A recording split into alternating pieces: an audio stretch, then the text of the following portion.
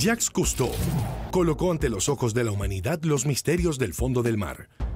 Ingresó a la Academia Naval Francesa con el objetivo de ser piloto, pero sufrió un accidente y casi le amputan los brazos. Como terapia tuvo que nadar diariamente en el Mediterráneo y con unos lentes de natación prestados descubrió su fascinación por el fondo del mar. Para imitar la libertad de movimiento de los peces, inventó la escafandra autónoma permitiendo que los buzos puedan sumergirse sin estar conectados con la superficie. Desarrolló cámaras para grabar bajo el agua y fue el primero en presentar un largometraje a color sobre el mundo submarino y con el que ganaría el Oscar.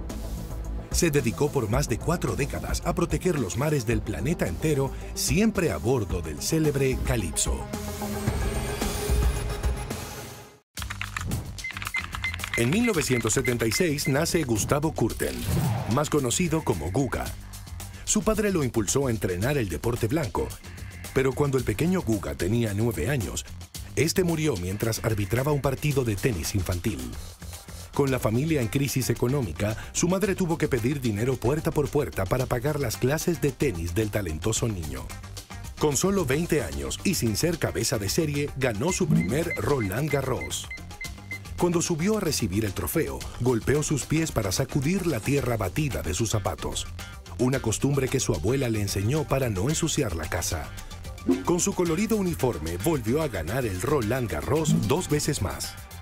Gracias a su agresivo juego de grandes movimientos, ganó un total de 28 títulos y se convirtió en el mejor tenista brasileño de todos los tiempos.